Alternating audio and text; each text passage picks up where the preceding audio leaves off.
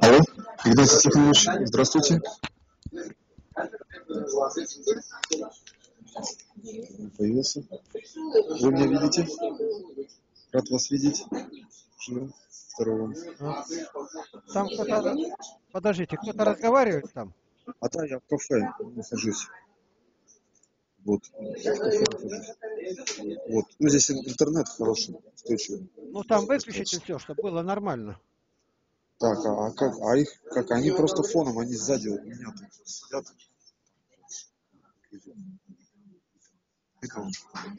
Сзади. Вот. Вот. У меня вопрос, можно к вам? У нас, у нас опять. все записывается, выставляется в интернет. Вы не против? А, да, я не против. Говорите. А, Игнатий Тихонович, а, я вам уже задавал этот вопрос вот, э, в со- в сообщениях. Я поговорил, у меня с священником не получается никак говорить. Они как бы э, не получается.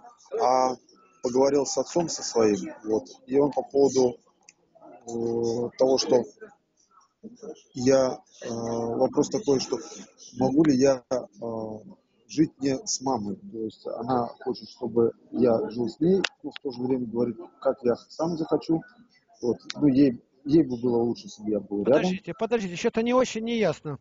Плохо как-то. У вас все это мотается, экран. И звук уплывает. Вы как-то поближе к микрофону или как-то? Я ничего не понял. А чем как-то остановите, чтобы она не моталась-то. Сейчас, секундочку. А, вот, А что, другого места нету, чтобы отойти к другом месте? Это нормально поговорить. Какой это разговор-то? Вопли разные, мечется. Ничего не слышно. да.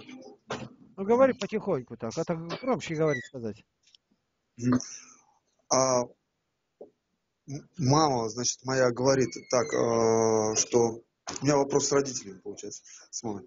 А, лучше, ей будет лучше, если я буду рядом с ней, и в то же время она говорит, ей будет лучше, если как мне будет лучше. Вот так. То есть она вроде как ей хорошо будет, если я буду рядом, но в то же время а, вот, говорит, как я сам решу. Вот. А Я кто, сам решу. кто она? Вы о ком речь ведете? о своей маме родной. Ну, Вот. А папа мой говорит тоже так же, э, решай сам, как вот тебе лучше.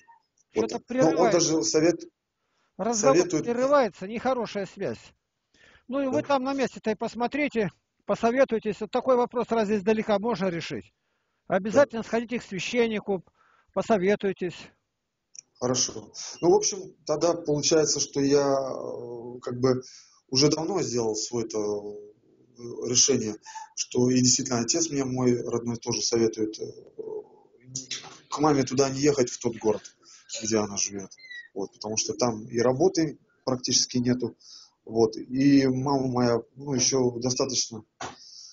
общем, но я ей предлагаю приехать ко мне, когда я уже укреплюсь, закреплюсь на новом месте.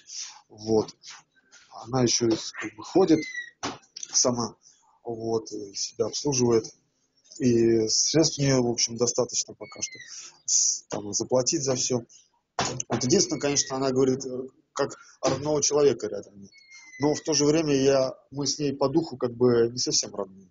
То есть я вот как бы стремлюсь к жизни, как вот у вас, но у меня сейчас не получается, я еще с собой за себя не взялся, вот, к сожалению. Вот. А, и вот у меня еще разговор с вами был по поводу, тоже пере- в переписке, по поводу а, покупки у вас дома. А его нету дома. Никакого покупки. Дом не покупается, их нету домов. Только строятся. Уже вот, Только а, строятся. который брата вашего вот э, дом, вы, Игнатий Ну, Тихонович, про то- и там про то говорить не надо даже.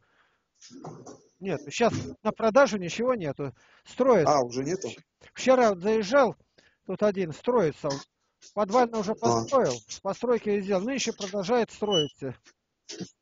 Вот один. А тот, э, вот, э, который вы говорили с Германией, с Арсеном, Да. а, вот, насчет дома вашего брата, который уехал, вот, э, вы еще говорили, что-то около там 200 тысяч, что ли? Что нет, нет, нет, ничего нету, все.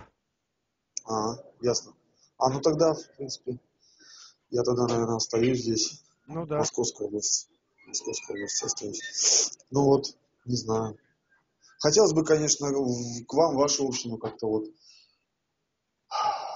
учиться, как говорят еще вот э, святые тоже, с преподобным преподобен будешь, не знаю, правильного выражения или нет, но мне кажется, в какой-то степени правильно.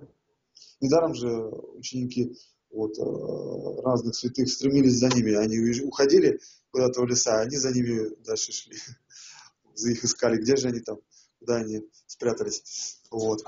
Вот. А мне понравился вот Авраам Негалишский, он такой вот ученик, ну не ученик, а, как сказать, вместе с Сергеем Радонежским даже в одном а, в монастыре, тоже вот он так жил, что а, видел, что рядом язычники живут в Костромской области, и, и им проповедовал. Хотя сам уединился, но пока шел, он видел, что есть деревни, где не знают Спасителя.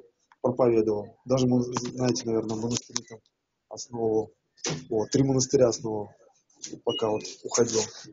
От грехов очищался в уединении, да. Вот, и проповедовал. И я вот всем про него рассказываю, вот, говорю, вот, вот настоящий миссионер. Тоже, ну, своего рода, своего времени. Вот. Ну ладно, спасибо, Игнатий Тихонович, за беседу. Вот. Если у вас что-то есть, какое-то слово ко мне, я вас с удовольствием выслушаю. Вот. Обличающее тоже с удовольствием. Ну вот вы в прошлом году ни слова не говоря исчезли. А ведь а. я думал, благополучно ли у вас все. Вы все сделали как надо, приготовились ехать, я вышел в маршрутку. Не заладилось, вы могли бы хотя бы отбой дать. Я, я считаю, что вы в дороге. И дальше начал предполагать, что что-то с вами случилось. А вы так отмахнули, как будто ничего и не было. Как же так? Да, простите. Я это, даже не подумал. Это что... совсем никак не годится, никуда. Вы дали знать, что едете. Едете. У нас встречают люди.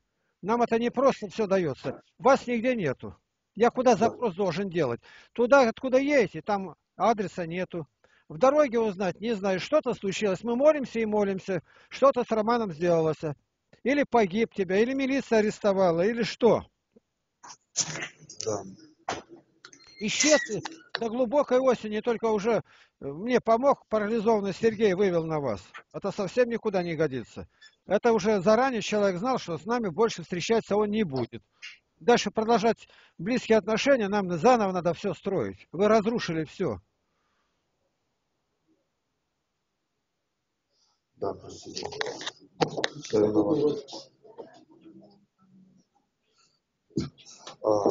Ну, если вы один раз так сделали, никаких обязательств нет у вас, то вы можете сделать и второй, и третий раз. И кроме обузы вы ничего не принесете. Вывод-то вот какой напрашивается. Да.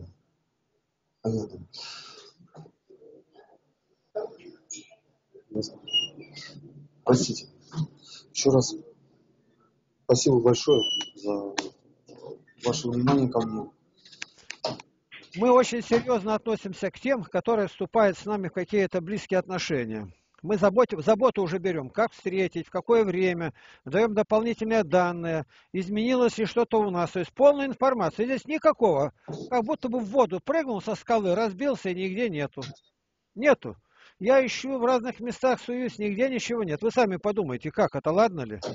Взрослый человек, вам же не 15 лет.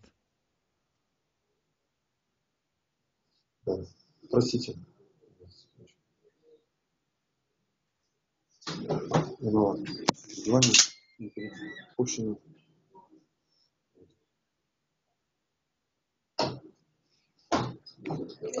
Так, у вас как? Духовного порядка никаких нету, чего? А, ну, в общем, я вот э, хор, хороший вот совет, я воспользовался а, три дня на без воды, без еды, вот уединение, конечно же. Вот. И мне позвонили по, по истечении этих трех дней. Сказали, э, сказали там, э, есть дедушка, которому нужна помощь. И, вот, не знаю, что думать. Я теперь все время мне за, за пожилыми как бы вот ухаживать. Может быть, даже думаю, что подумал, что это как бы знак, что надо все-таки к маме ехать, за ней ухаживать. Но пока что не вижу особо. Видите, предыдущие наши разговоры, что мы говорили, все это аннулируется. Мы как будто бы встретились случайно, прохожие прошли. Приезжать вам уже нельзя. Совсем нельзя.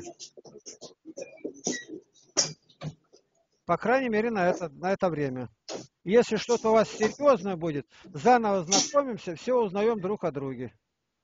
А нас-то проще всего. 4200 роликов, там можно разобраться. Я вам сейчас сброшу наши данные еще раз под этим под Хорошо. скайпом. Хорошо, спасибо. Слава Иисусу. Даже у вас больше Слава ничего Иисусу. нету, да? Да, Ну, во славу ничего. Божию, давайте, спасайтесь. спасибо. Да, выключайте. Скажу.